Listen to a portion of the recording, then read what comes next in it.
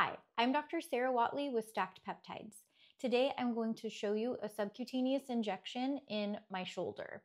I'll be doing an injection of the Wolverine stack, which is BPC 157 and TB 500.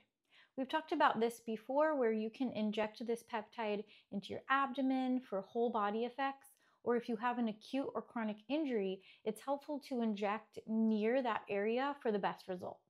Most peptides are via subcutaneous injection, which means under the skin.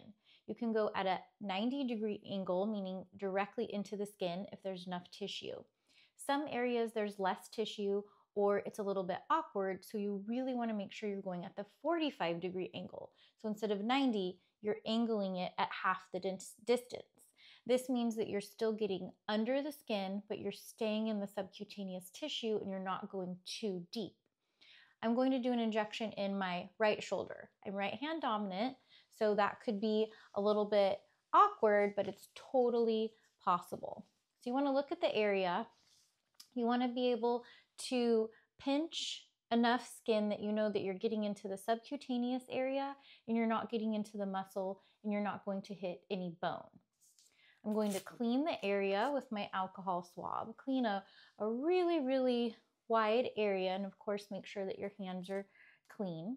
Because I can't pinch and inject at the same time, I'm going to use that 45 degree angle method so that I ensure that I'm getting under the skin.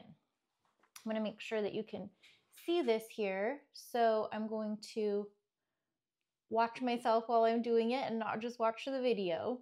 But I'm going to be going in, not at the 90, but at the 45 degree angle here. So I know that I'm still under the skin and I'm not in the muscle.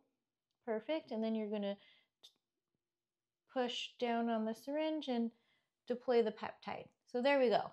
All good. There was a little bit of blood that time. So there we go. All good. If you are injecting and you see a little bubble under the skin, then that means that you probably went a little too superficial. You're still going to get the peptides absorbed, but you might get a little bit of redness or bruising in that spot. Hopefully this was helpful.